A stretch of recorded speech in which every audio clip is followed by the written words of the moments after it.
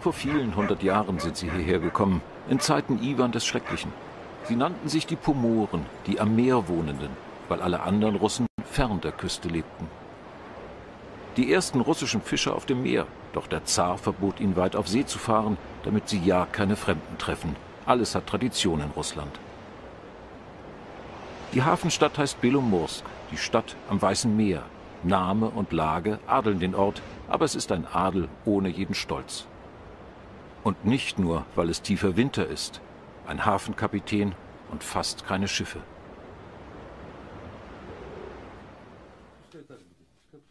Und keiner, der ihm per Funk baldige Ankunft verspricht. Um ehrlich zu sein, das Leben hier ist nicht besonders toll. Wir haben praktisch keine Arbeit. Das Interesse für den Norden ist verflogen und der Kanal liegt auch im Sommer still. Und der Hafen? Der Hafen arbeitet nicht, denn es gibt keinen Frachtverkehr mehr.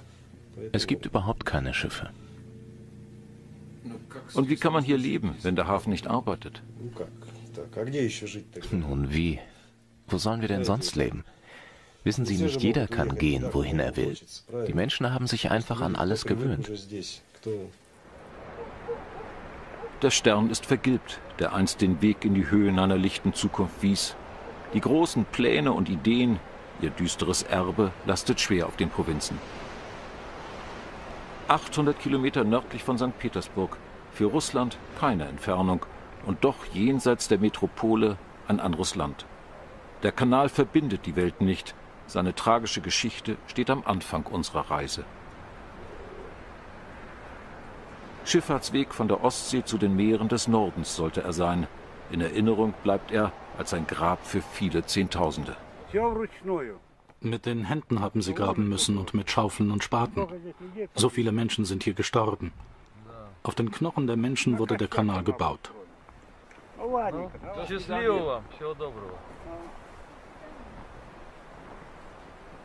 Er ist als Kind dabei gewesen, ein Zeuge jenes monströsen Versuches, Russland in die Moderne zu peitschen.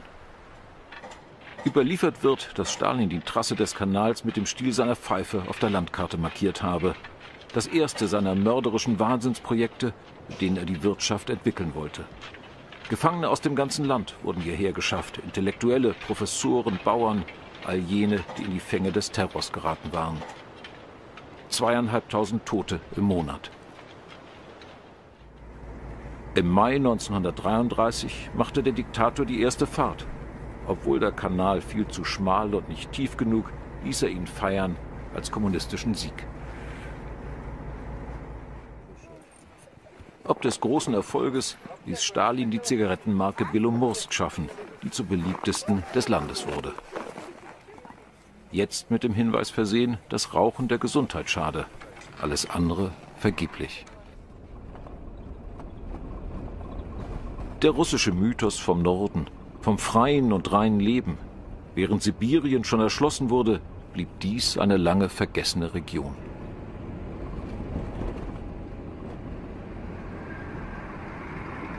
Die Landstraße nimmt ihren Anfang in St. Petersburg an der Ostsee gelegen. In Belomorsk trifft sie auf die Küste des Weißen Meeres. Wie auch der Kanal, der die beiden Meere verbinden sollte. Nördlich von Belomorsk wird der Polarkreis überquert und dann öffnet sich die Halbinsel Kola. Ganz im Norden Murmansk, der Hafen, der im Winter eisfrei bleibt. Die Küstenregion abgeriegelt als militärisches Sperrgebiet der U-Boot-Flotte wegen. Im Hinterland die Bodenschätze und giftige Industrieanlagen inmitten der Natur.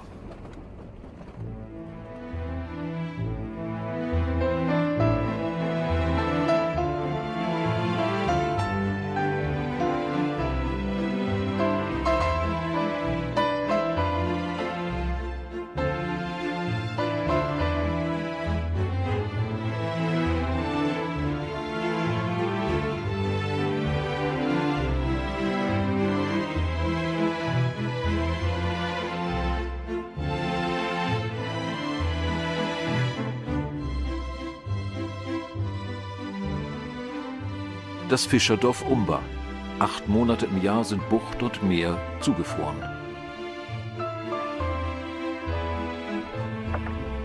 Alexei zählt sich zu den Nachfahren der Pomoren, jener Russen, die stolz darauf sind, am Meer zu leben.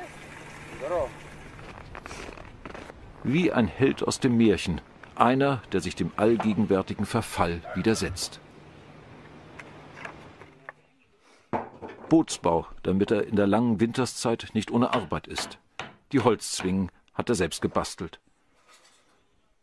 Vor sechs Jahren lebte noch ein alter Schiffsbauer, zu dem ist er in die Werkstatt gegangen.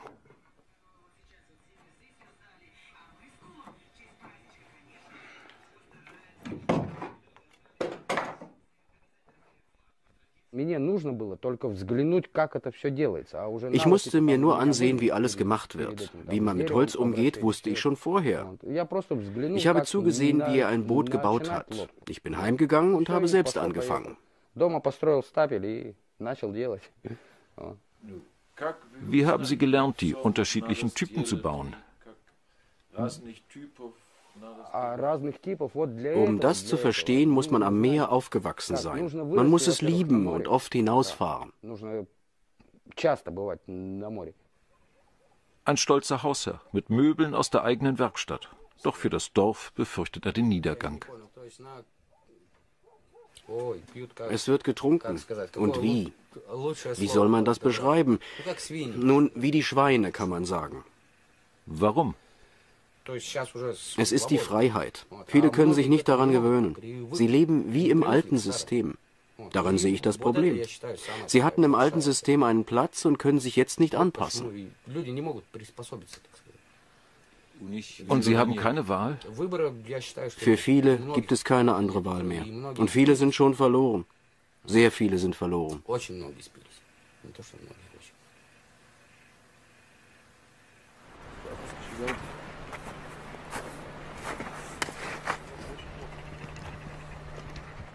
Die Freunde von Alexei sind Fischer.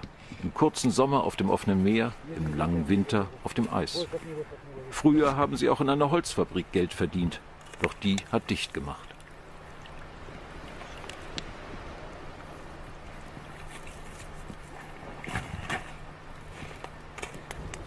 Am Ufer warten auf den Fang. Über dem Feuer das Wasser für die Fischsuppe.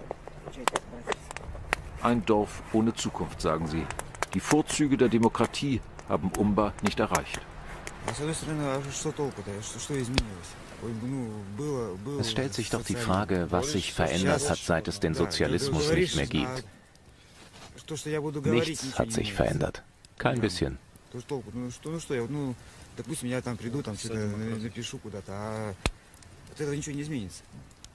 Aber jetzt gibt es die Freiheit. Ja, es gibt die Freiheit, aber dadurch ist nichts besser geworden. Man kann sagen, was man will, aber das Ergebnis ist null. Früher durfte man nicht alles sagen, aber man hatte etwas. Heute kannst du sagen, was du willst, aber es bringt nichts.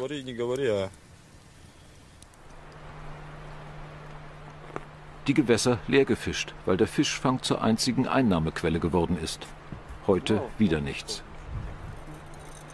Das Geschehen folgt einem geflügelten Wort in Russland. Wir haben das Beste versucht, aber dann kam es, wie es immer kommt.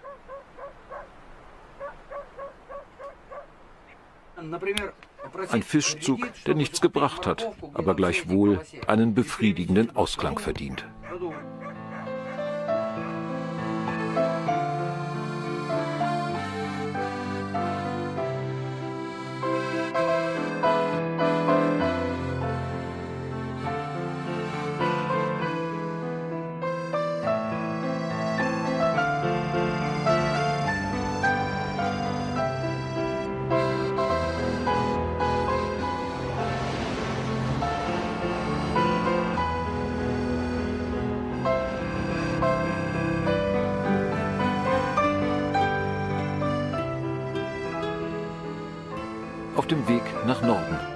Klima wird rauer, dort wo die Kola-Halbinsel zur Schatzkammer wird. Schneesturm, der die lange Nacht noch dunkler erscheinen lässt. Leben nördlich des Polarkreises die Stadt Montchegorsk. Die Schatzkammer, das sind die Bodenschätze. Und dazu gehört das Inferno, in dem sie verwertet werden. Nickel, Kobalt, Kupfer, so viel wert wie ein Königreich, und es gibt auch einen König, aber der lebt in Moskau.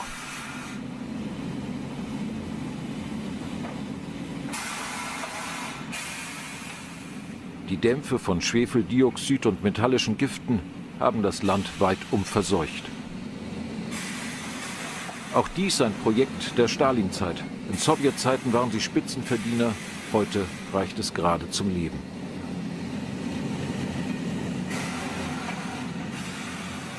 Sergei ist schon Rentner und kann doch nicht fort. Ich habe nicht genug Geld, um wegzuziehen, sonst wäre ich schon längst weg. Meine Eltern leben im Ural. Ich denke oft darüber nach. Vielleicht werde ich bald gehen, wenn meine Tochter selbstständig ist. Jetzt kann ich einfach noch nicht. So geht es den meisten, die älter sind. Früher zogen viele mit erspartem Geld in den Süden.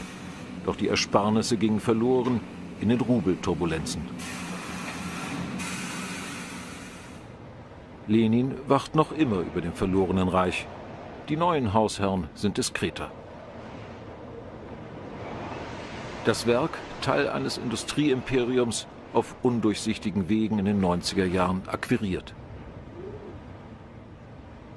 Wie in Sowjetzeiten wird der Konzern von Moskau ausgesteuert. Dort bleibt auch das Geld. Die Gifte haben die Landschaft gezeichnet. Im engeren Umfeld wachsen überhaupt keine Bäume mehr. Eine Region fast halb so groß wie die Bundesrepublik, erschlossen nur dort, wo sie ausgebeutet wird.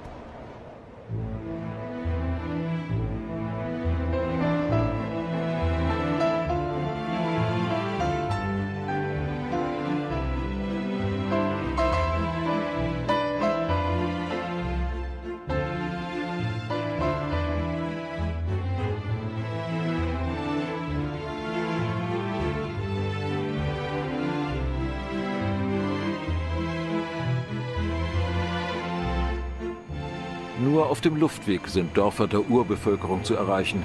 Keine Straße führt dorthin, weder im Sommer noch im Winter. Das Dorf Krasnoschelli wurde wegen Geldmangels schon seit Wochen nicht mehr angeflogen. Mit Dankbarkeit nutzen sie unseren Flug zum Transport.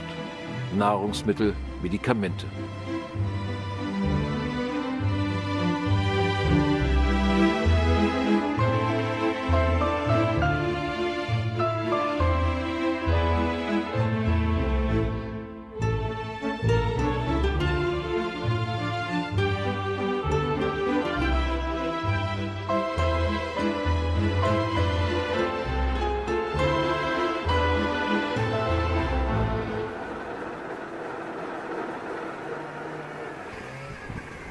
Das Empfangskomitee.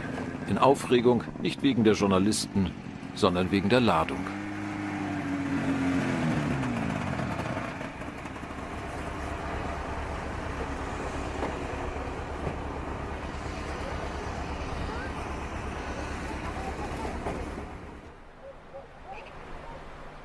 Ein Dorf der Rentierzüchter. In Sowjetzeiten mitten in die Wildnis gesetzt, damit auch die Samen in sozialistischer Ordnung leben dürfen.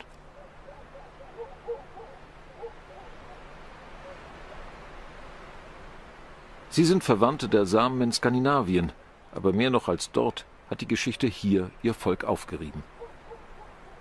Den alten Traditionen entwöhnt vor neuen Bedrohungen.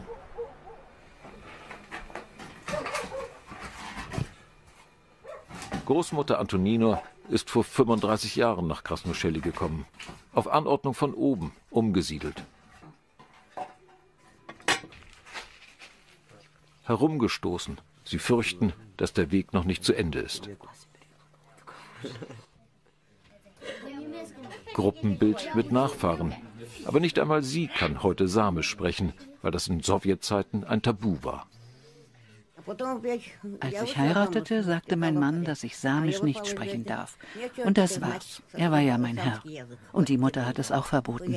Ja, so habe ich nie gelernt, meine Sprache zu sprechen. Er ist schon bereit, auf dem Weg zu den Hirten, die bei der Herde sind. Sechs Stunden auf dem Schlitten, er hat nichts dagegen.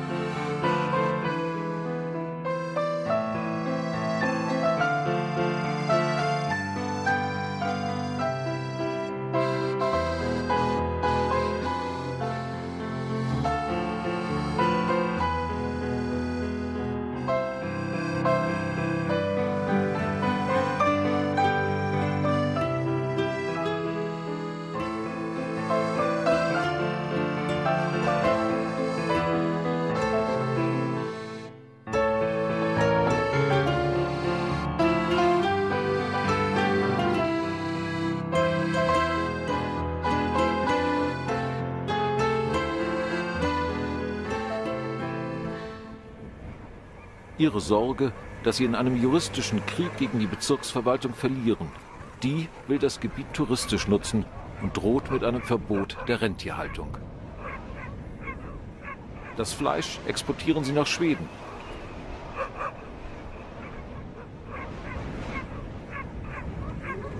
Sie leben mit den Tieren und von den Tieren.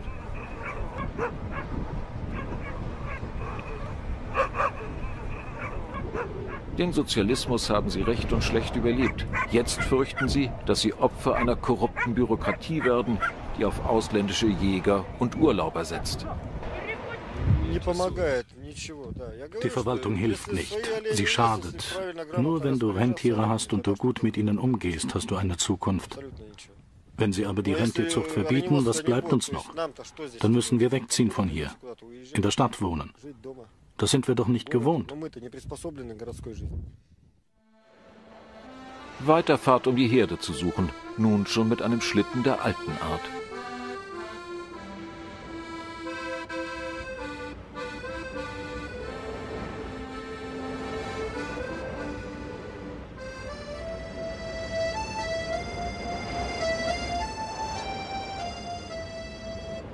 Doch die Herde hat Schutz gesucht vor dem aufkommenden Schneesturm. Nur einer ist geblieben.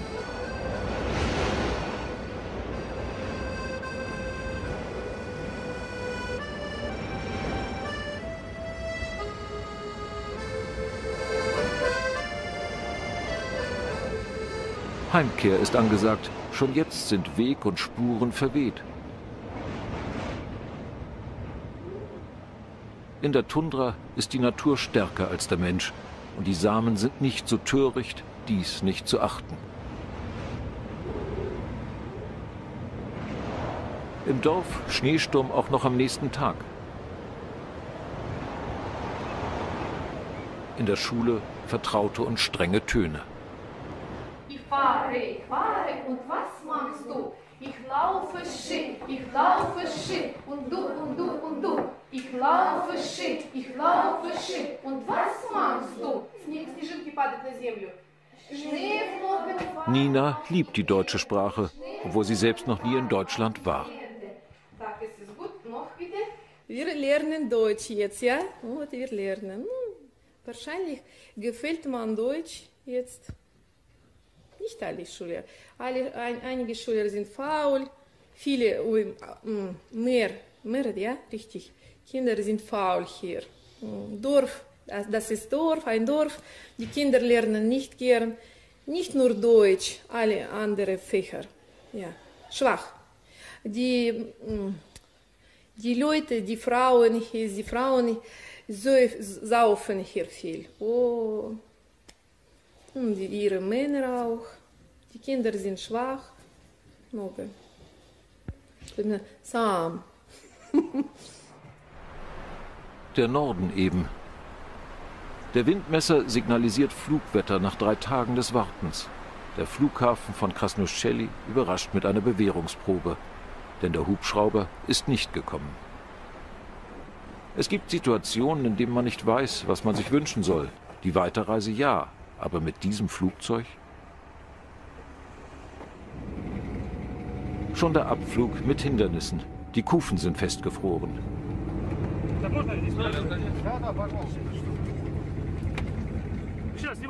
Der Pilot sagt nicht nötig, dass ihr jetzt filmt. Er weiß warum. Denn das Hilfsmittel wirkt nicht sehr elegant. Der Holzhammer gehört zur Bordausrüstung. noch ein bisschen Hilfe vom Bodenpersonal, dann ein Ruck und es geht los. André, der mit seiner Tochter zum Arzt fliegt, ist der Einzige, dem zum Lachen zumute ist.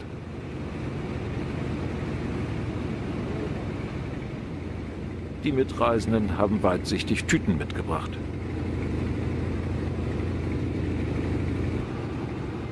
Der Flugzeugtyp fast 80 Jahre alt, und eigentlich ist der Einsatz inzwischen verboten. Aber neue Flugzeuge gibt es nicht und Hubschrauber sind zu teuer.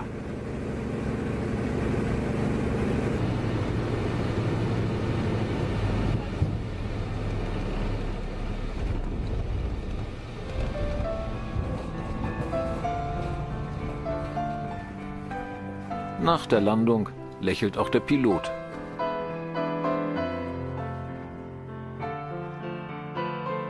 Antonov 2 heißt das Gerät. Den Reisenden unvergessen. Weiterfahrt im Zug in Richtung Murmansk.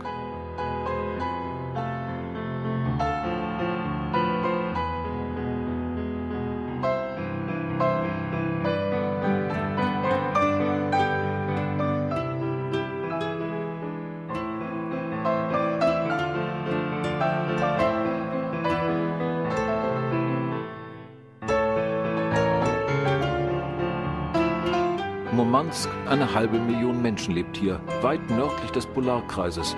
Weil der Hafen eisfrei bleibt, stand das Militär an seiner Wiege. Vor 100 Jahren ging es noch ländlich zu.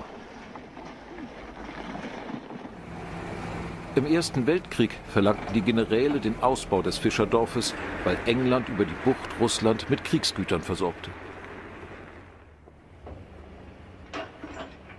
Im Zweiten Weltkrieg kriegsentscheidend, weil hier die Amerikaner der von Deutschland überfallenen Sowjetunion Panzer und Lkw lieferten. Im Kalten Krieg aber geriet die Region völlig in die Hand der Militärs. Sie wurde Basis der Atom-U-Boot-Flotte, mit der Moskau im Kriegsfall den Nordatlantik beherrschen wollte.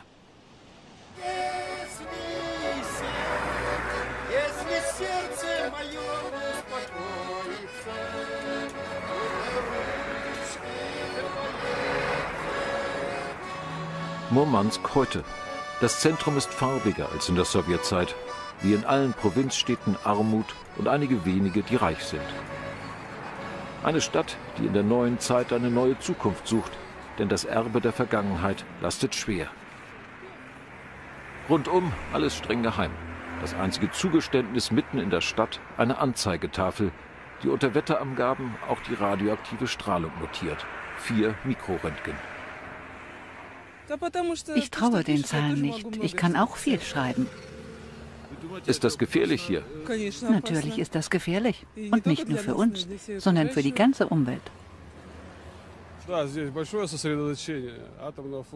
Natürlich wissen wir, dass hier eine große Atomflotte liegt, zivil und militärisch. Natürlich ist es gefährlich. Es gibt auch noch ein Atomkraftwerk. Wir sind eingekreist. Das heißt, wenn hier etwas passiert, kommen wir gar nicht weg.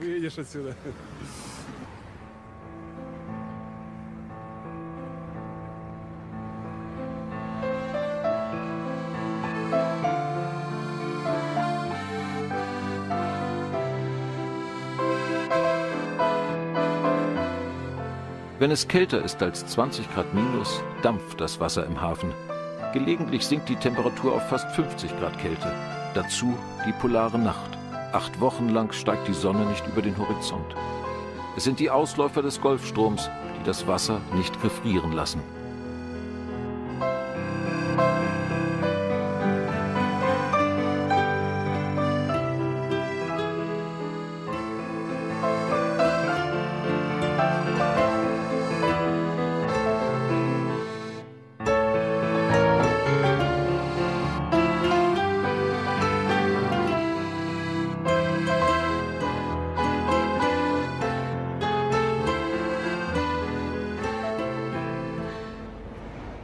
Murmansk, Heimathafen der atomaren Eisbrecherflotte, die draußen auf dem Meer die Fahrende frei hält.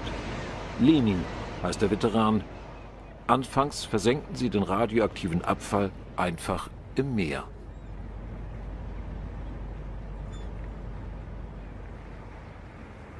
Seit Jahrzehnten liegt die Lepse im Hafen. Von allen toten Schiffen dieser Welt das fürchterlichste. 60 Jahre alt, zu keiner Reise mehr bestimmt.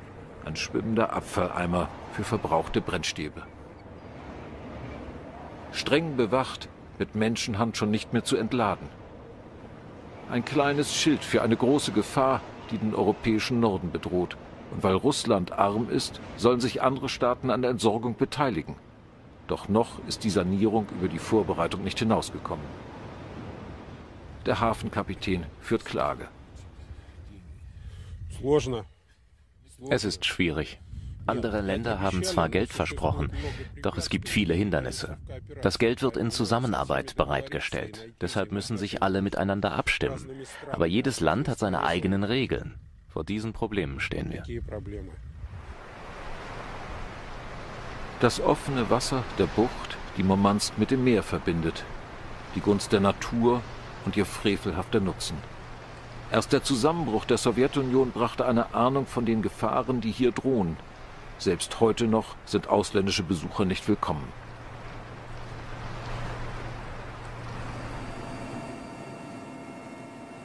Aus der Luft gesehen eine Winteridylle im eisigen Norden. Fjorde, die tief in das Land eindringen. Das alles Sperrgebiet, weil hier die Heimathäfen der U-Boot-Flotte liegen.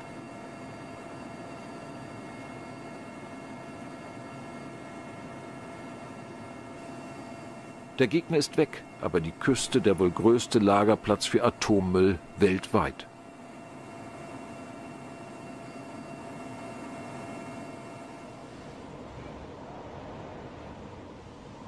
Die Bucht von Grimmicha. U-Boote, die außer Dienst gestellt sind, weil sie keiner mehr braucht. Aber immer noch der Atomreaktor an Bord wie eine tickende Zeitbombe.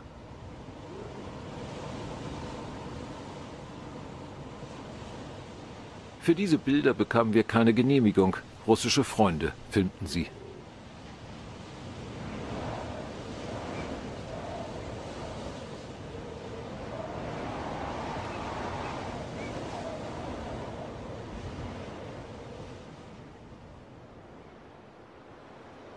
Die Saida-Bucht, ein anderer der gefürchteten Orte.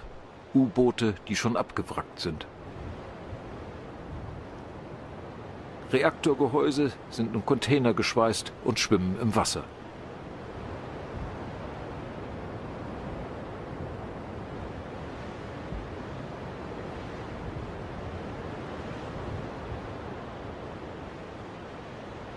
Damit die Container nicht absacken, wird Luft zugepumpt.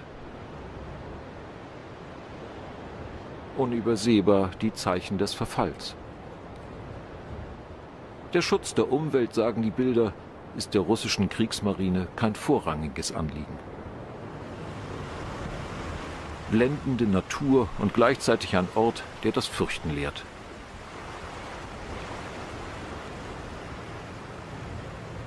Andrejew im Litzerfjord.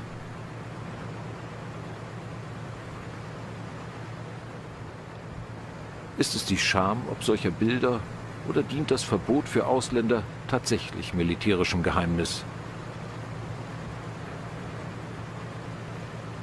Zu sehen ist nur ein kleiner Ausschnitt des Desasters. Alleine in Andrejew liegen noch 20.000 Brennstäbe in Zwischenlagern an Land.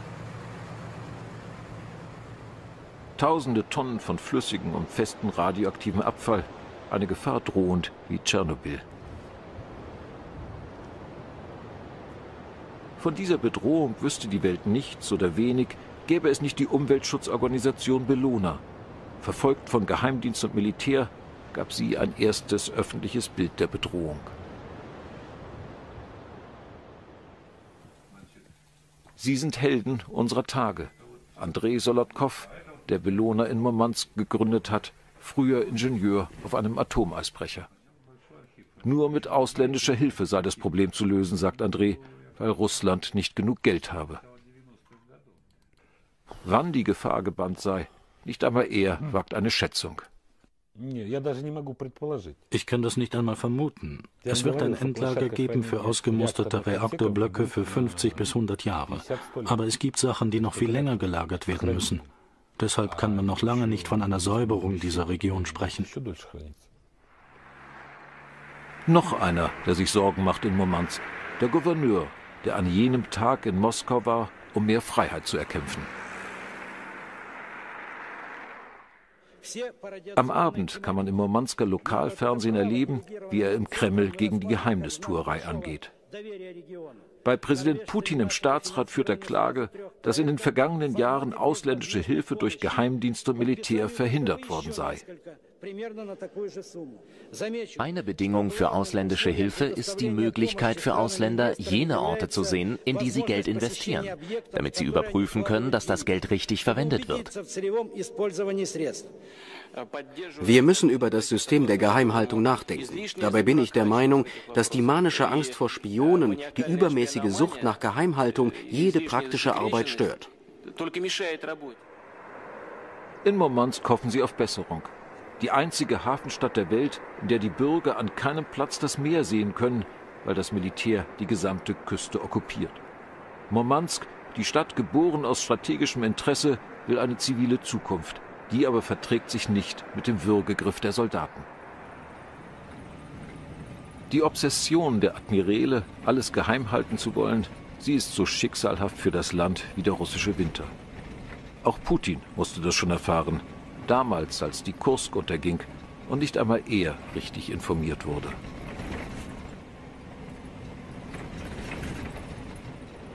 In einem Fjord wie diesem lag die Kursk, bevor die eigenen Waffen das Schiff versenkten. In diesem Klima leben die U-Boot-Fahrer und ihre Familien. Acht Monate Winter im Jahr.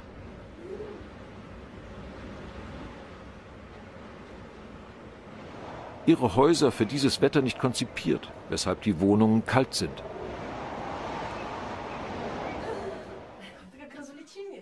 Eine verschworene Gemeinschaft sind sie. Treffen nach russischer Art in einer Küche. Die Mannschaft der Kursk, das waren ihre Freunde. Leben und sterben im Elend der Streitkräfte. Manchmal haben sie ein halbes Jahr keine Kopeke Sold bekommen. Als die Tragödie der Kursk geschah, herrschte gerade wieder eine schwierige Geldsituation und alle waren nur mit einem Problem beschäftigt. Wie überleben? Und das galt auch für die Mannschaft.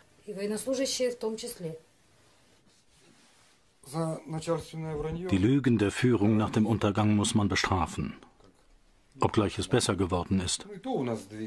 Die Komsomolets seiner Zeit ist still und leise untergegangen. Bei der Kursk gab es ein großes Echo. Wir haben heutzutage keine Angst mehr, die Wahrheit zu sagen. Oder nicht mehr so viel. Man darf keine Angst haben vor diesen Beamten. Nur wenn alles offen gesagt wird, werden wir besser leben. Es gehört zum Ritual, dass auf eine bessere Zukunft getrunken wird. Man möchte wünschen, dass es hilft.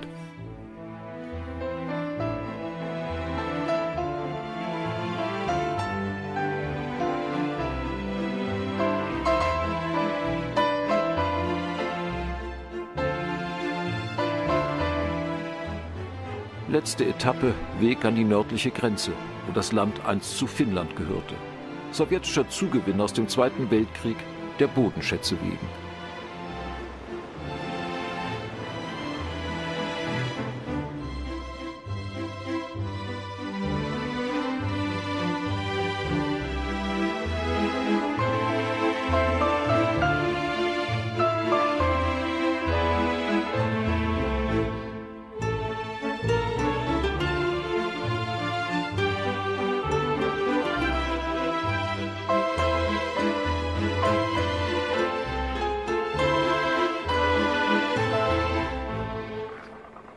50 Kilometer vor der Grenze der Sicherheitsstreifen.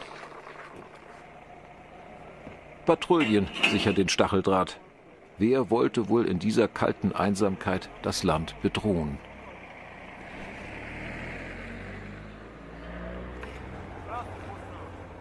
Man wähnt sich im Spielfilm bei jenen, die aus der Kälte kamen.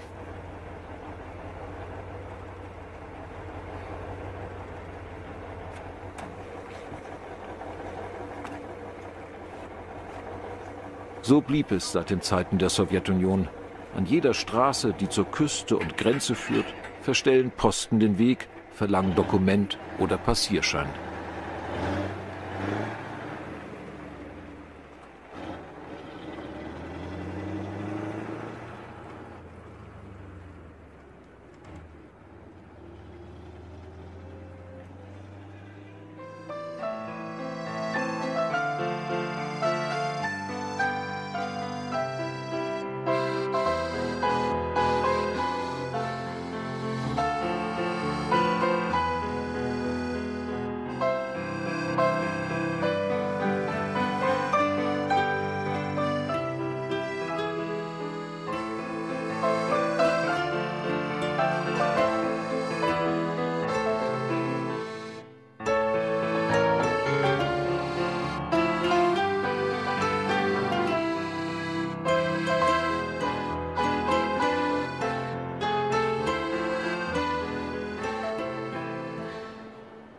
Schon die Finnen hatten hier Erz abgebaut. Und damals schon begann auch das Zerstörungswerk an der Natur.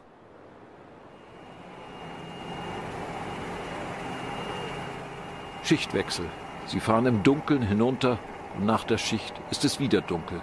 Abfahrt in den Schacht, 1000 Meter tief.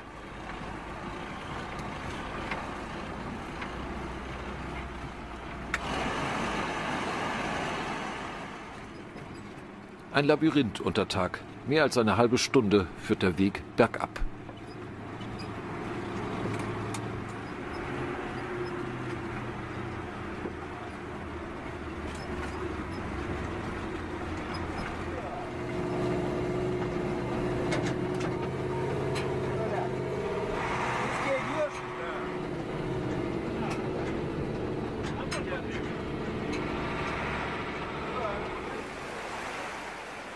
Auch hier fühlt man sich wie in einer Filmkulisse, aber das Gefühl der Bedrängung und Unsicherheit ist wirklich.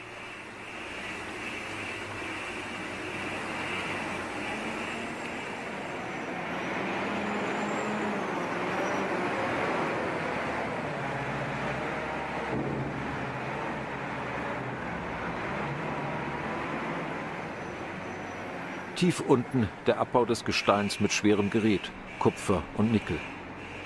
Die Metalle sind das Fundament für ein gigantisches Industrieimperium, dessen junger Eigner zu den reichsten der Reichen in Russland gehört.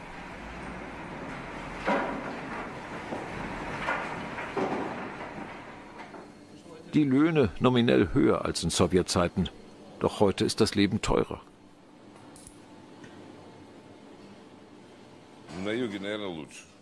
Im Süden ist es sicher besser als im Norden. Aber so leben und arbeiten wir eben. Hier haben wir einen Arbeitsplatz und auch eine Wohnung. Wo sollen wir hin? Sind Sie zufrieden? Ob nun zufrieden oder nicht zufrieden, was soll man denn schon tun? Und die Zukunft? In der Zukunft, ich weiß nicht. Die Zukunft wird selten besser.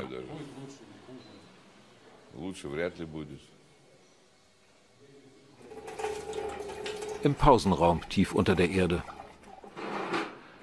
Sie sind hart im Nehmen. Ihr Privileg, dass Sie schon mit 45 in die Rente gehen können. Aber keiner tut es, weil er davon nicht leben kann. Politik ein fernes Thema.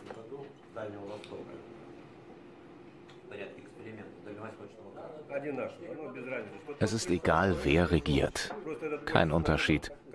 Der eine läuft mehr beim Volk rum, der andere hat mehr getrunken. Wir brauchen normale Leute, die das Volk achten. Dann wird es endlich besser werden.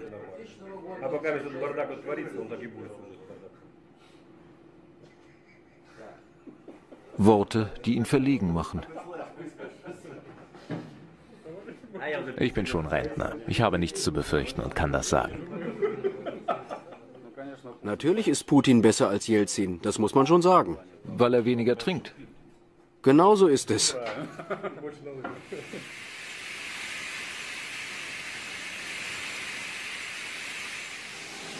Die wirkliche Hölle, man findet sie hier über der Erde, dort wo das Erz verarbeitet wird. Rauch und Dämpfe, Vergiftung für hunderte Quadratkilometer, weshalb Nachbarn Norwegen schon Einspruch erhoben hat.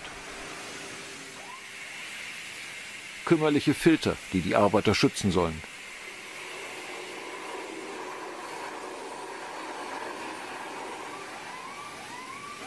Ein Ofen ist schon stillgelegt und unsicher die Zukunft des Werkes. Die Arbeitsplätze knapp und gefährdet. Wenn sie der sowjetischen Zeit nachtrauern, dann nicht, weil die Arbeit damals weniger giftig war, aber damals konnten sie wenigstens krank werden. Nein, die Leute hier werden nicht oft krank.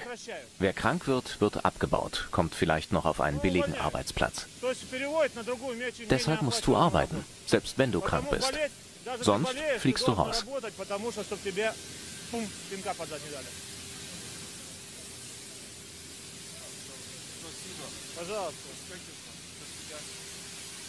Удачи вам!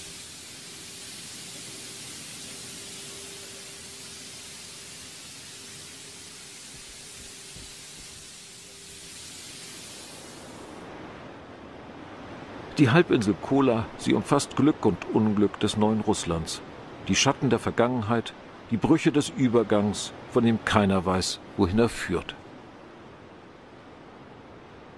Und als Glück wird schon empfunden, wenn im hohen Norden nach der polaren Nacht zum ersten Mal wieder die Sonne am Horizont zu sehen ist. Vor vielen hundert Jahren sind sie hierher gekommen, in Zeiten Iwan des Schrecklichen. Sie nannten sich die Pomoren, die am Meer wohnenden, weil alle anderen Russen fern der Küste lebten. Die ersten russischen Fischer auf dem Meer, doch der Zar verbot ihnen weit auf See zu fahren, damit sie ja keine Fremden treffen. Alles hat Tradition in Russland. Die Hafenstadt heißt Belomorsk, die Stadt am Weißen Meer. Name und Lage adeln den Ort, aber es ist ein Adel ohne jeden Stolz. Und nicht nur, weil es tiefer Winter ist, ein Hafenkapitän und fast keine Schiffe.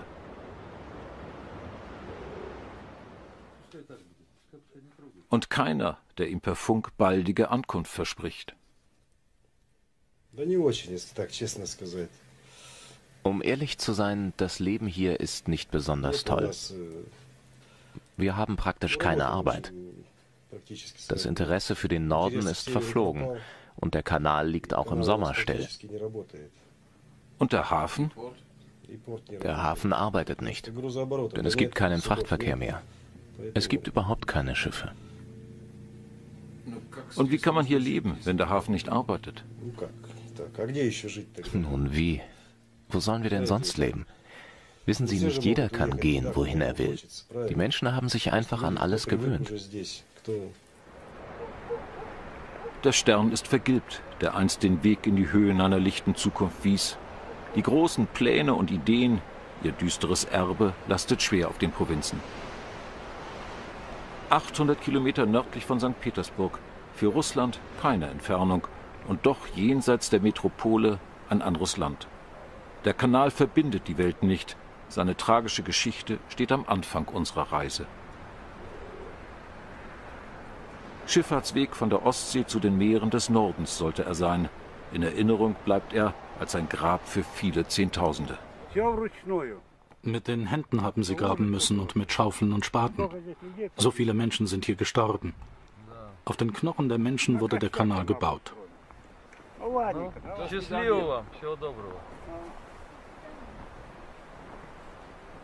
Er ist als Kind dabei gewesen, ein Zeuge jenes monströsen Versuches, Russland in die Moderne zu peitschen. Überliefert wird, dass Stalin die Trasse des Kanals mit dem Stiel seiner Pfeife auf der Landkarte markiert habe. Das erste seiner mörderischen Wahnsinnsprojekte, mit denen er die Wirtschaft entwickeln wollte. Gefangene aus dem ganzen Land wurden hierher geschafft, Intellektuelle, Professoren, Bauern, all jene, die in die Fänge des Terrors geraten waren. Zweieinhalbtausend Tote im Monat. Im Mai 1933 machte der Diktator die erste Fahrt. Obwohl der Kanal viel zu schmal und nicht tief genug, ließ er ihn feiern als kommunistischen Sieg.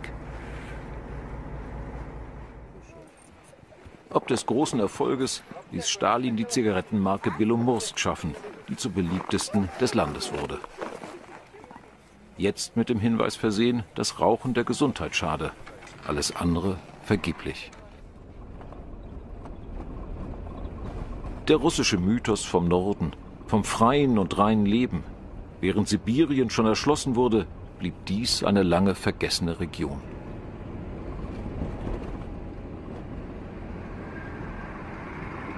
Die Landstraße nimmt ihren Anfang in St. Petersburg an der Ostsee gelegen. In Belomorsk trifft sie auf die Küste des Weißen Meeres. Wie auch der Kanal, der die beiden Meere verbinden sollte. Nördlich von Belomorsk wird der Polarkreis überquert und dann öffnet sich die Halbinsel Kola. Ganz im Norden Murmansk, der Hafen, der im Winter eisfrei bleibt. Die Küstenregion abgeriegelt als militärisches Sperrgebiet der U-Boot-Flotte wegen. Im Hinterland die Bodenschätze und giftige Industrieanlagen inmitten der Natur.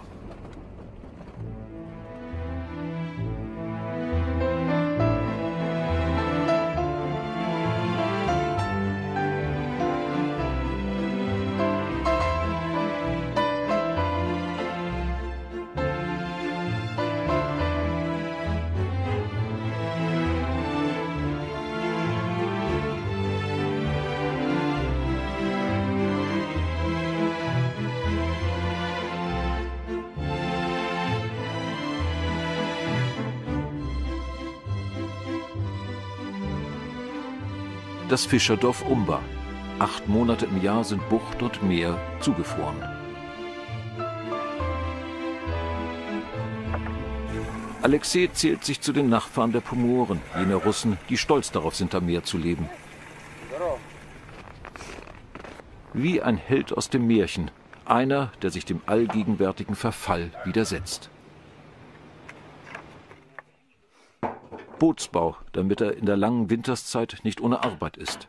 Die Holzzwingen hat er selbst gebastelt. Vor sechs Jahren lebte noch ein alter Schiffsbauer, zudem ist er in die Werkstatt gegangen.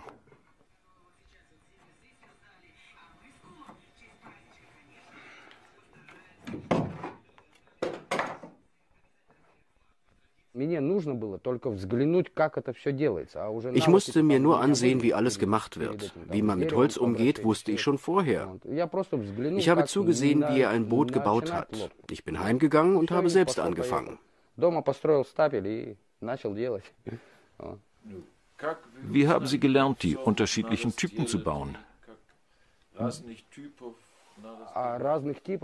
Um das zu verstehen, muss man am Meer aufgewachsen sein. Man muss es lieben und oft hinausfahren. Ein stolzer Hausherr mit Möbeln aus der eigenen Werkstatt. Doch für das Dorf befürchtet er den Niedergang. Es wird getrunken. Und wie? Wie soll man das beschreiben? Nun, wie die Schweine, kann man sagen. Warum? Es ist die Freiheit. Viele können sich nicht daran gewöhnen. Sie leben wie im alten System. Daran sehe ich das Problem. Sie hatten im alten System einen Platz und können sich jetzt nicht anpassen. Und Sie haben keine Wahl? Für viele gibt es keine andere Wahl mehr. Und viele sind schon verloren. Sehr viele sind verloren.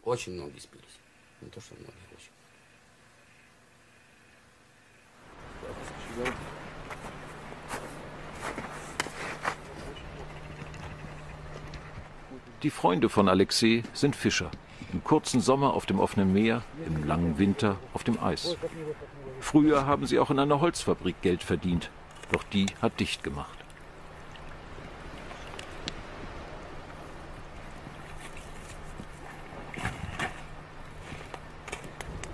Am Ufer warten auf den Fang. Über dem Feuer das Wasser für die Fischsuppe. Ein Dorf ohne Zukunft, sagen sie. Die Vorzüge der Demokratie haben Umba nicht erreicht. Es stellt sich doch die Frage, was sich verändert hat, seit es den Sozialismus nicht mehr gibt. Nichts hat sich verändert. Kein bisschen.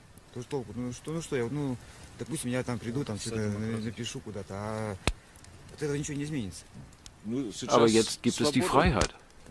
Ja, es gibt die Freiheit, aber dadurch ist nichts besser geworden. Man kann sagen, was man will, aber das Ergebnis ist null. Früher durfte man nicht alles sagen, aber man hatte etwas. Heute kannst du sagen, was du willst, aber es bringt nichts.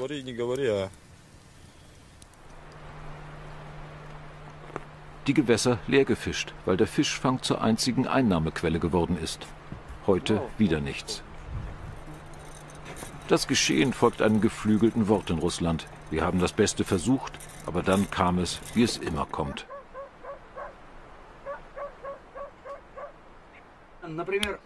Ein Fischzug, der nichts gebracht hat, aber gleichwohl einen befriedigenden Ausklang verdient.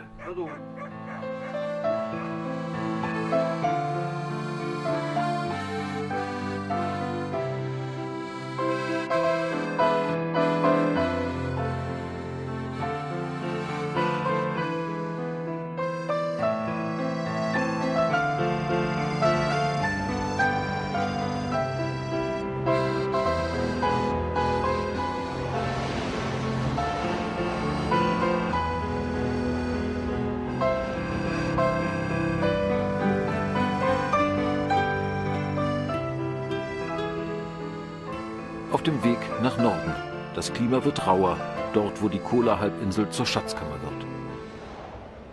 Schneesturm, der die lange Nacht noch dunkler erscheinen lässt. Leben nördlich des Polarkreises die Stadt Montchegorsk. Die Schatzkammer, das sind die Bodenschätze. Und dazu gehört das Inferno, in dem sie verwertet werden. Nickel, Kobalt, Kupfer, so viel wert wie ein Königreich. Und es gibt auch einen König, aber der lebt in Moskau.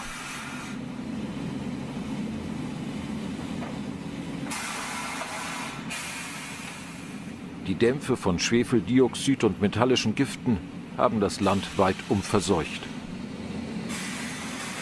Auch dies ein Projekt der Stalinzeit. In Sowjetzeiten waren sie Spitzenverdiener, heute reicht es gerade zum Leben.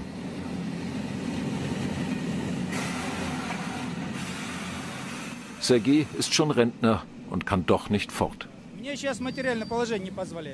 habe nicht genug Geld, um wegzuziehen, sonst wäre ich schon längst weg. Meine Eltern leben im Ural. Ich denke oft darüber nach.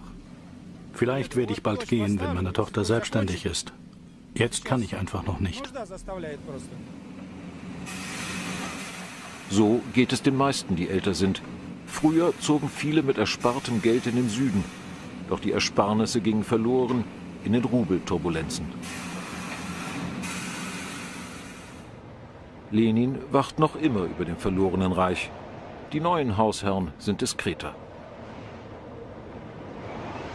Das Werk, Teil eines Industrieimperiums, auf undurchsichtigen Wegen in den 90er Jahren akquiriert. Wie in Sowjetzeiten wird der Konzern von Moskau ausgesteuert. Dort bleibt auch das Geld. Die Gifte haben die Landschaft gezeichnet. Im engeren Umfeld wachsen überhaupt keine Bäume mehr. Eine Region fast halb so groß wie die Bundesrepublik, erschlossen nur dort, wo sie ausgebeutet wird.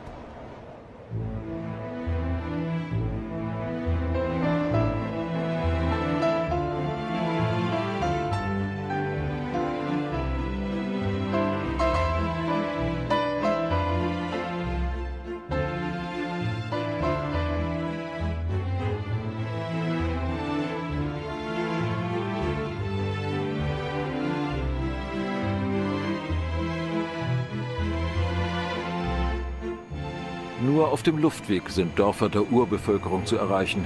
Keine Straße führt dorthin, weder im Sommer noch im Winter. Das Dorf Krasnoschelli wurde wegen Geldmangels schon seit Wochen nicht mehr angeflogen.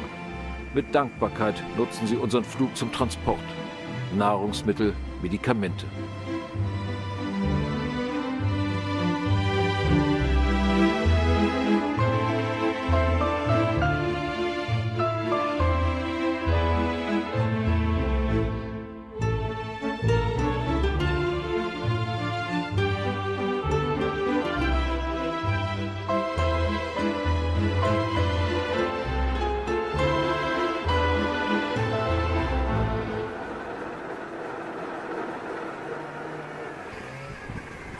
Das Empfangskomitee. In Aufregung nicht wegen der Journalisten, sondern wegen der Ladung.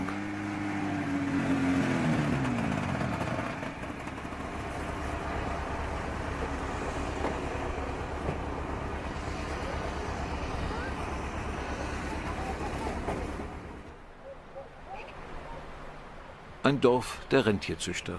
In Sowjetzeiten mitten in die Wildnis gesetzt, damit auch die Samen in sozialistischer Ordnung leben dürfen.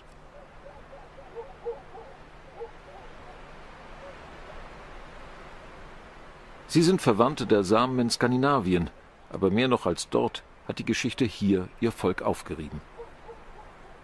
Den alten Traditionen entwöhnt vor neuen Bedrohungen.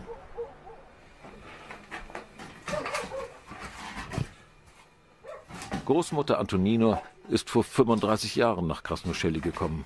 Auf Anordnung von oben umgesiedelt. Herumgestoßen. Sie fürchten, dass der Weg noch nicht zu Ende ist. Gruppenbild mit Nachfahren. Aber nicht einmal sie kann heute Samisch sprechen, weil das in Sowjetzeiten ein Tabu war. Als ich heiratete, sagte mein Mann, dass ich Samisch nicht sprechen darf. Und das war's. Er war ja mein Herr. Und die Mutter hat es auch verboten. Ja, so habe ich nie gelernt, meine Sprache zu sprechen. Er ist schon bereit, auf dem Weg zu den Hirten, die bei der Herde sind. Sechs Stunden auf dem Schlitten, er hat nichts dagegen.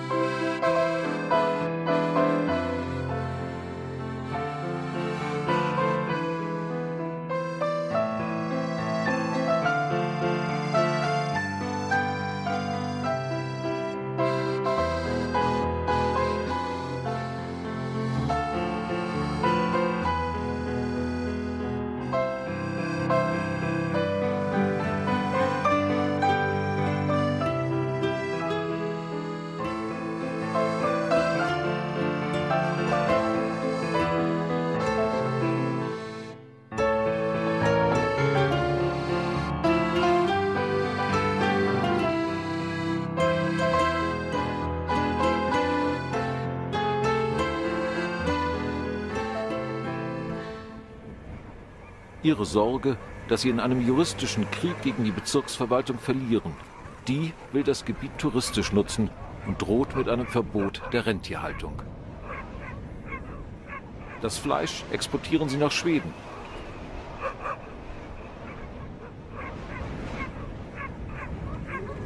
Sie leben mit den Tieren und von den Tieren.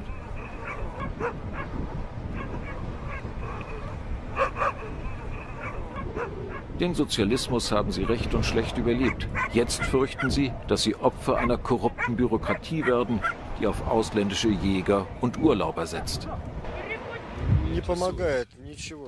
Die Verwaltung hilft nicht. Sie schadet.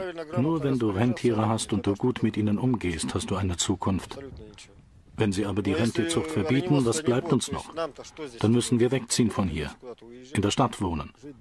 Das sind wir doch nicht gewohnt. Weiterfahrt, um die Herde zu suchen, nun schon mit einem Schlitten der alten Art.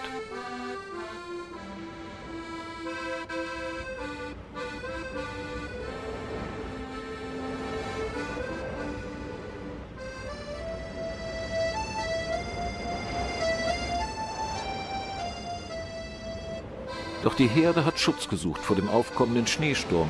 Nur einer ist geblieben.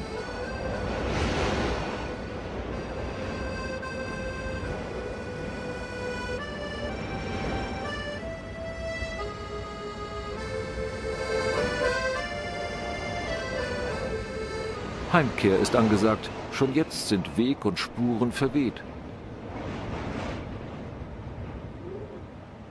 In der Tundra ist die Natur stärker als der Mensch und die Samen sind nicht so töricht, dies nicht zu achten. Im Dorf Schneesturm auch noch am nächsten Tag. In der Schule vertraute und strenge Töne.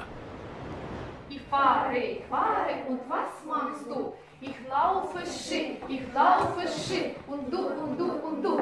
Ich laufe Ski, ich laufe Ski und was machst du? Снежинки падают на землю. Nina liebt die deutsche Sprache, obwohl sie selbst noch nie in Deutschland war. Wir lernen Deutsch jetzt, ja? Und wir lernen. Wahrscheinlich gefällt man Deutsch jetzt nicht alle Schüler. Alle, ein, einige Schüler sind faul, viele, mehr, mehr, ja, richtig. Kinder sind faul hier. Dorf, das ist Dorf, ein Dorf. Die Kinder lernen nicht gern, nicht nur Deutsch, alle anderen Fächer. Ja, schwach. Die, die Leute, die Frauen hier, die Frauen saufen hier viel. Oh, und ihre Männer auch. Die Kinder sind schwach. Много. Sam. Der Norden eben. der Windmesser signalisiert Flugwetter nach drei Tagen des Wartens. Der Flughafen von Krasnoschelli überrascht mit einer Bewährungsprobe, denn der Hubschrauber ist nicht gekommen. Es gibt Situationen, in denen man nicht weiß, was man sich wünschen soll. Die Weiterreise ja, aber mit diesem Flugzeug? Schon der Abflug mit Hindernissen. Die Kufen sind festgefroren.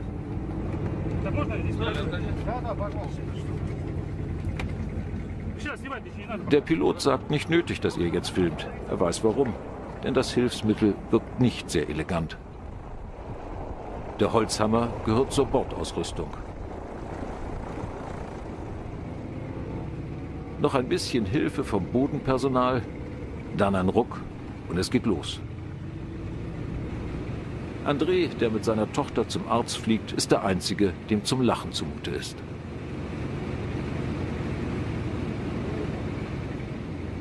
Die Mitreisenden haben weitsichtig Tüten mitgebracht.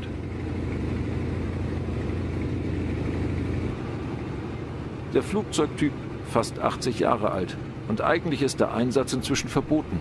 Aber neue Flugzeuge gibt es nicht und Hubschrauber sind zu teuer.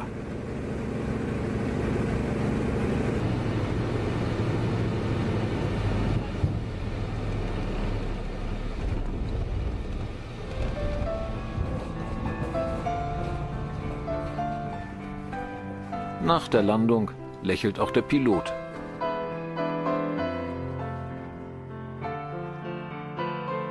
Antonov 2 heißt das Gerät. Den Reisenden unvergessen. Weiterfahrt im Zug in Richtung Murmansk.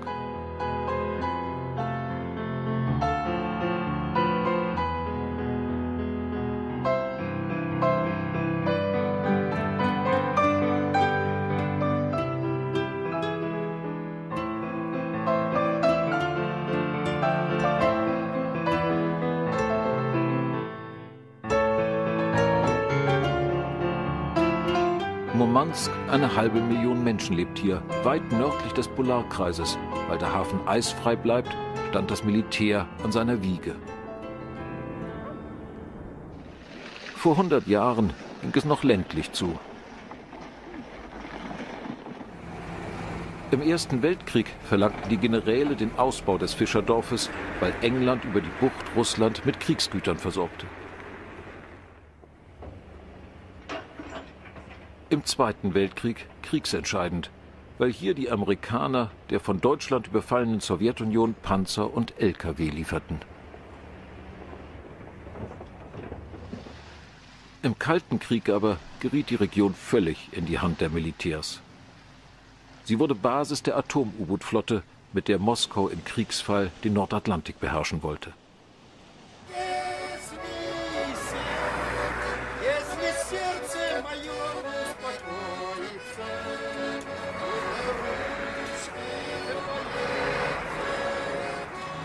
Murmansk heute. Das Zentrum ist farbiger als in der Sowjetzeit, wie in allen Provinzstädten Armut und einige wenige, die reich sind. Eine Stadt, die in der neuen Zeit eine neue Zukunft sucht, denn das Erbe der Vergangenheit lastet schwer. Rundum alles streng geheim. Das einzige Zugeständnis mitten in der Stadt eine Anzeigetafel, die unter Wetterangaben auch die radioaktive Strahlung notiert. Vier Mikroröntgen. Ich traue den Zahlen nicht. Ich kann auch viel schreiben. Ist das gefährlich hier? Natürlich ist das gefährlich. Und nicht nur für uns, sondern für die ganze Umwelt. Natürlich wissen wir, dass hier eine große Atomflotte liegt, zivil und militärisch. Natürlich ist es gefährlich. Es gibt auch noch ein Atomkraftwerk. Wir sind eingekreist. Das heißt, wenn hier etwas passiert, kommen wir gar nicht weg.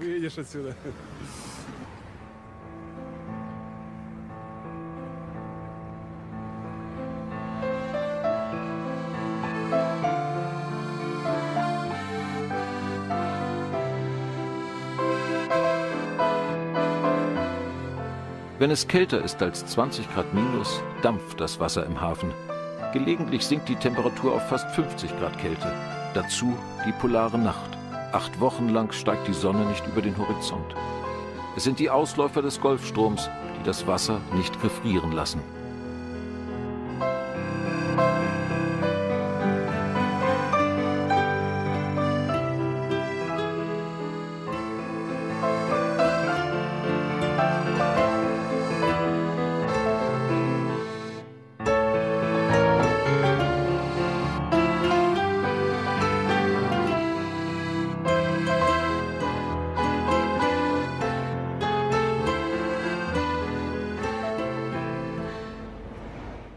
Murmansk, Heimathafen der atomaren Eisbrecherflotte, die draußen auf dem Meer die Fahrrinne frei hält. Lenin heißt der Veteran.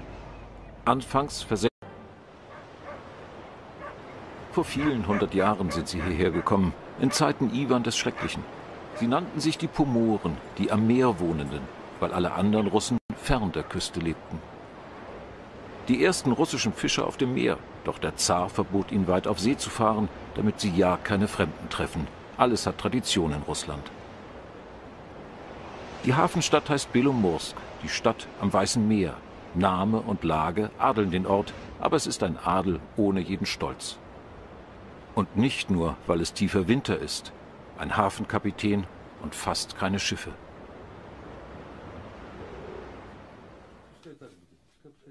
Und keiner, der ihm per Funk baldige Ankunft verspricht. Um ehrlich zu sein, das Leben hier ist nicht besonders toll. Wir haben praktisch keine Arbeit. Das Interesse für den Norden ist verflogen und der Kanal liegt auch im Sommer still. Und der Hafen? Der Hafen arbeitet nicht, denn es gibt keinen Frachtverkehr mehr. Es gibt überhaupt keine Schiffe. Und wie kann man hier leben, wenn der Hafen nicht arbeitet? Nun wie? Wo sollen wir denn sonst leben? Wissen Sie, nicht jeder kann gehen, wohin er will. Die Menschen haben sich einfach an alles gewöhnt. Der Stern ist vergilbt, der einst den Weg in die Höhen einer lichten Zukunft wies. Die großen Pläne und Ideen, ihr düsteres Erbe, lastet schwer auf den Provinzen. 800 Kilometer nördlich von St. Petersburg, für Russland keine Entfernung und doch jenseits der Metropole ein anderes Land. Der Kanal verbindet die Welt nicht, seine tragische Geschichte steht am Anfang unserer Reise. Schifffahrtsweg von der Ostsee zu den Meeren des Nordens sollte er sein. In Erinnerung bleibt er als ein Grab für viele Zehntausende. Mit den Händen haben sie graben müssen und mit Schaufeln und Spaten. So viele Menschen sind hier gestorben. Auf den Knochen der Menschen wurde der Kanal gebaut.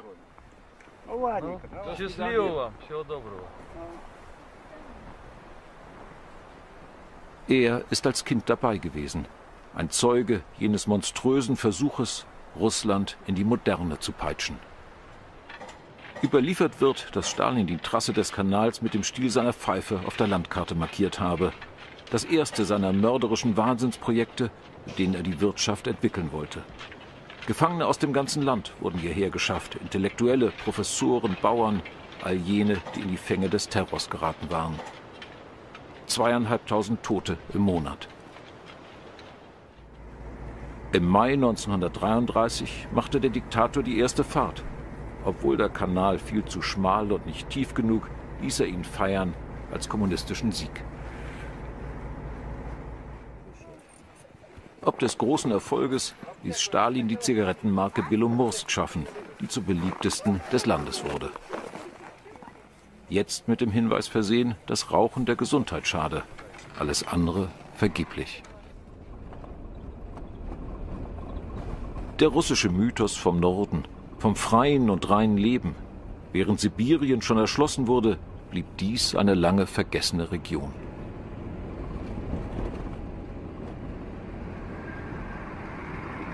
Die Landstraße nimmt ihren Anfang in St. Petersburg an der Ostsee gelegen.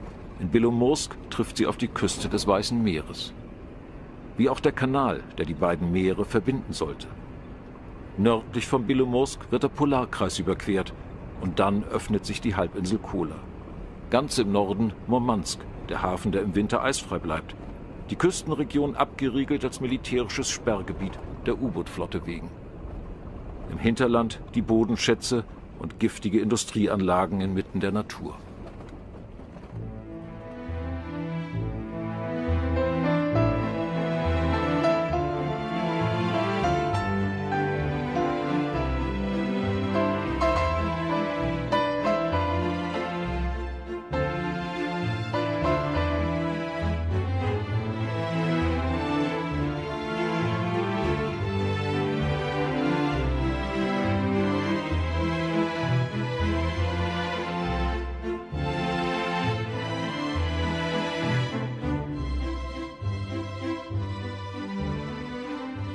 Das Fischerdorf Umba.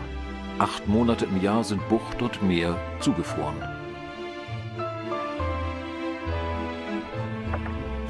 Alexei zählt sich zu den Nachfahren der Pomoren, jene Russen, die stolz darauf sind, am Meer zu leben.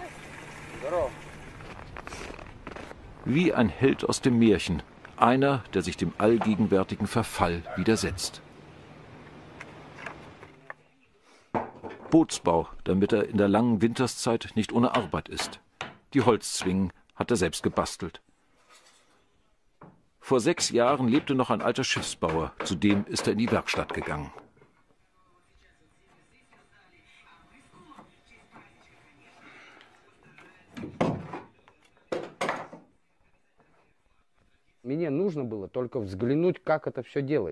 Ich musste mir nur ansehen, wie alles gemacht wird. Wie man mit Holz umgeht, wusste ich schon vorher. Ich habe zugesehen, wie er ein Boot gebaut hat. Ich bin heimgegangen und habe selbst angefangen. Wie haben Sie gelernt, die unterschiedlichen Typen zu bauen? Um das zu verstehen, muss man am Meer aufgewachsen sein. Man muss es lieben und oft hinausfahren. Ein stolzer Hausherr mit Möbeln aus der eigenen Werkstatt. Doch für das Dorf befürchtet er den Niedergang. Es wird getrunken. Und wie? Wie soll man das beschreiben? Nun, wie die Schweine, kann man sagen. Warum? Es ist die Freiheit. Viele können sich nicht daran gewöhnen. Sie leben wie im alten System. Daran sehe ich das Problem. Sie hatten im alten System einen Platz und können sich jetzt nicht anpassen. Und Sie haben keine Wahl? Für viele gibt es keine andere Wahl mehr. Und viele sind schon verloren. Sehr viele sind verloren.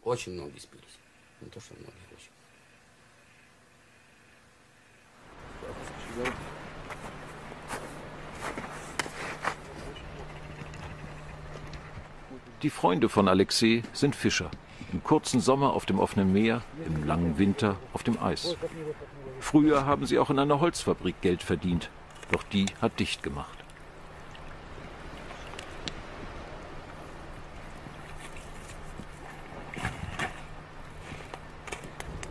Am Ufer warten auf den Fang. Über dem Feuer das Wasser für die Fischsuppe. Ein Dorf ohne Zukunft, sagen sie. Die Vorzüge der Demokratie haben Umba nicht erreicht. Es stellt sich doch die Frage, was sich verändert hat, seit es den Sozialismus nicht mehr gibt. Nichts hat sich verändert. Kein bisschen.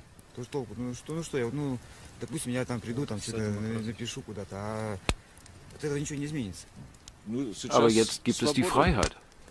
Ja, es gibt die Freiheit. Aber dadurch ist nichts besser geworden. Man kann sagen, was man will, aber das Ergebnis ist null. Früher durfte man nicht alles sagen, aber man hatte etwas. Heute kannst du sagen, was du willst, aber es bringt nichts.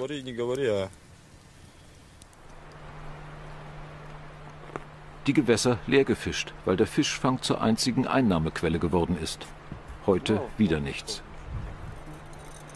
Das Geschehen folgt einem geflügelten Wort in Russland. Wir haben das Beste versucht, aber dann kam es, wie es immer kommt.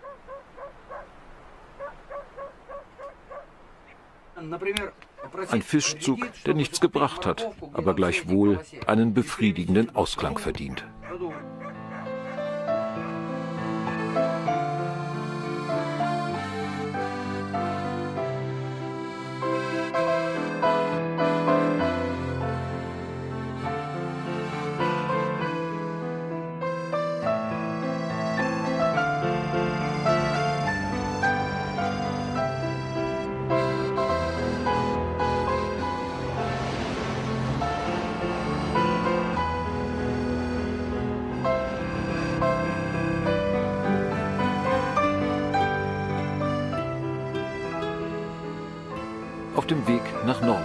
Das Klima wird rauer, dort wo die Kola-Halbinsel zur Schatzkammer wird.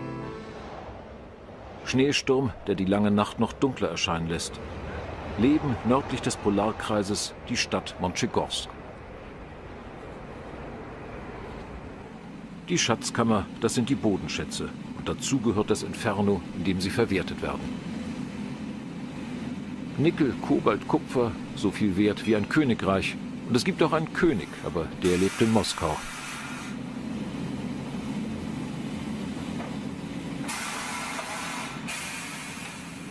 Die Dämpfe von Schwefeldioxid und metallischen Giften haben das Land weitum verseucht. Auch dies ein Projekt der Stalinzeit. In Sowjetzeiten waren sie Spitzenverdiener, heute reicht es gerade zum Leben.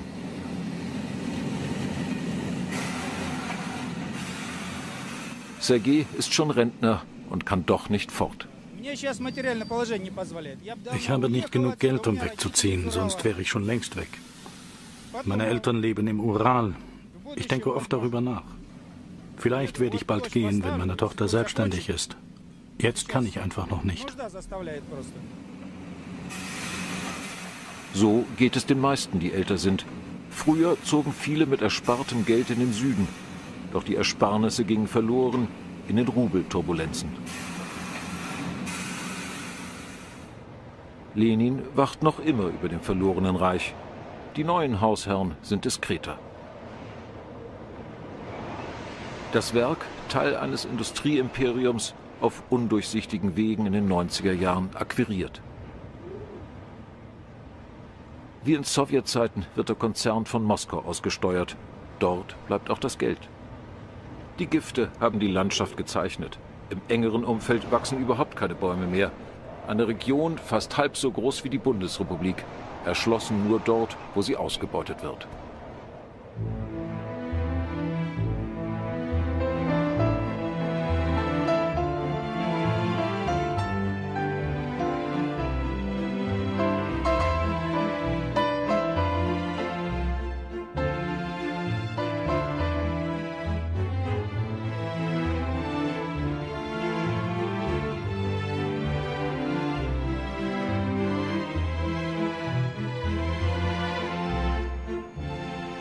Dem Luftweg sind Dörfer der Urbevölkerung zu erreichen. Keine Straße führt dorthin, weder im Sommer noch im Winter. Das Dorf Krasnoschelli wurde wegen Geldmangels schon seit Wochen nicht mehr angeflogen. Mit Dankbarkeit nutzen sie unseren Flug zum Transport. Nahrungsmittel, Medikamente.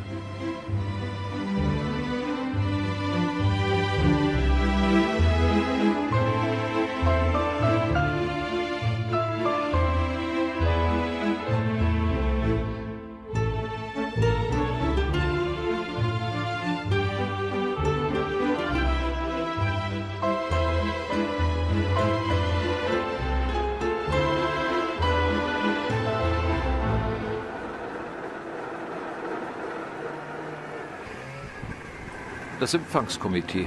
In Aufregung nicht wegen der Journalisten, sondern wegen der Ladung.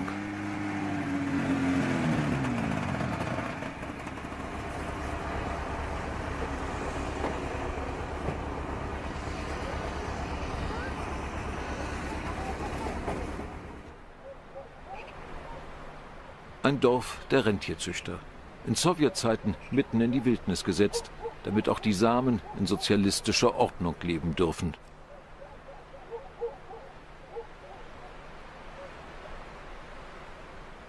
Sie sind Verwandte der Samen in Skandinavien, aber mehr noch als dort hat die Geschichte hier ihr Volk aufgerieben.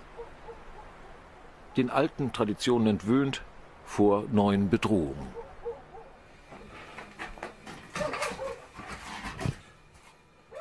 Großmutter Antonin